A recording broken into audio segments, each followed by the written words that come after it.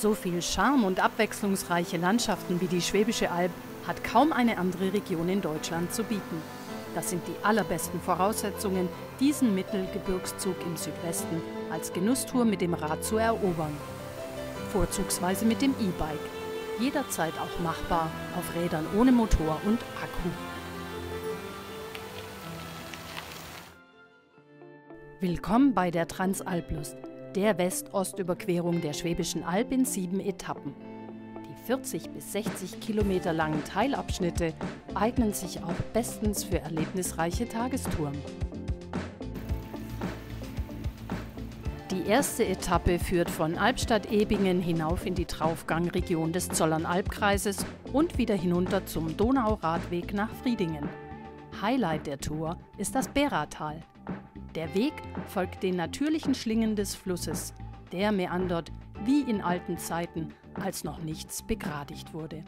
Auf der zweiten Etappe von Friedingen nach Sigmaringen jagt ein Radler-Hotspot den anderen. Wir sehen alte Ruinen und Schlösser, die hoch aufragend auf Kalkfelsen stehen.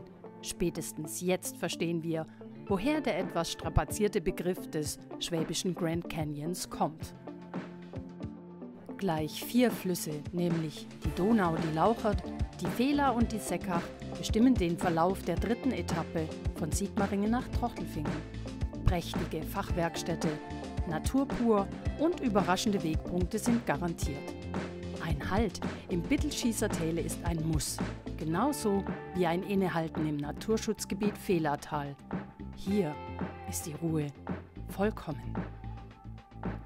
Das große Lautertal mit zahlreichen Burgen, bizarren Felsformationen und einem Wiedersehen mit der Donau machen die vierte Etappe von Trochelfing nach Ehingenberg zum Erlebnis. Unterwegs streifen wir Alpgold-Teigwaren mit seinem Kräutergarten, genießen das unbekannte Pfaffental und freuen uns über jede Menge Einkehrmöglichkeiten. Lange unten bleiben am Wasser und dann kurz und knackig rauf auf die Hochfläche. So meistert man locker die fünfte Etappe von Ehingen nach Westerstetten und bekommt einiges zu sehen.